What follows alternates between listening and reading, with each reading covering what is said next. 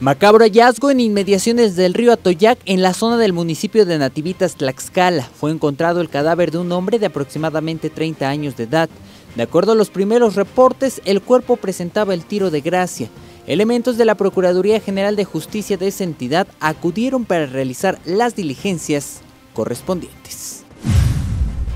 Locatarios del mercado Emilio Sánchez Piedras en la ciudad de Tlaxcala se manifestaron una vez más en contra de la demolición del recinto, exigiendo a las autoridades municipales un proyecto de rehabilitación para evitar la pérdida de empleos según los inconformes, asegurando defender su centro de trabajo hasta donde sea posible.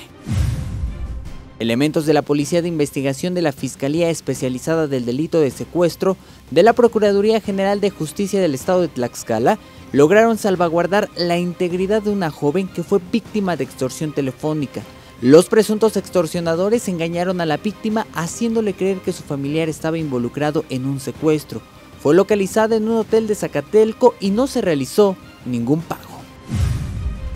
La Fiscalía General de la República en Tlaxcala obtuvo vinculación a proceso contra un hombre identificado como Félix, detenido por la Policía Federal Ministerial en el municipio de Citlaltepec por delitos relacionados contra el medio ambiente en la zona del Parque Nacional La Malinche, en el municipio ya mencionado. Víctor Ordóñez, Noti 13.